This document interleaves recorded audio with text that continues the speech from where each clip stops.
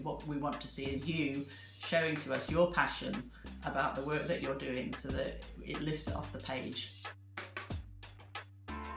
At Social Tech Trust, we've always actively um, focused disproportionately maybe um, on making our application process for funding hugely accessible and democratic. So all our application processes are online. We populate our website with stacks of information and FAQs to make people understand what it is that we're looking for.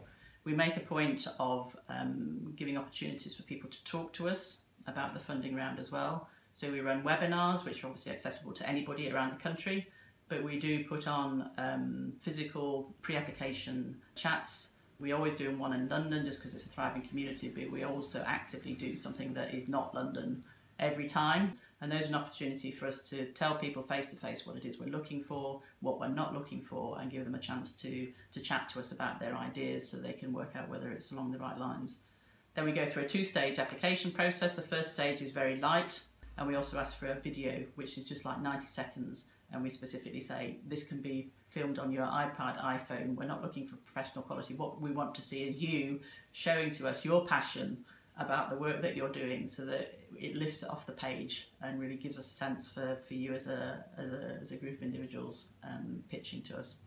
Then if people are successful at the first stage, they get invited to a second stage where we require a bit more detail, but again, it's all building on information that they've previously provided.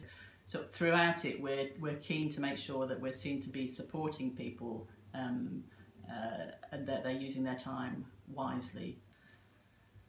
So part of being an open um, and democratic funder is also about the, the process for selection. Um, and we've tackled this in a number of ways in the past. We're always mindful of ways to improve what we do. Um, continuous improvement is kind of one of my personal things and, and that pervades throughout the organisation.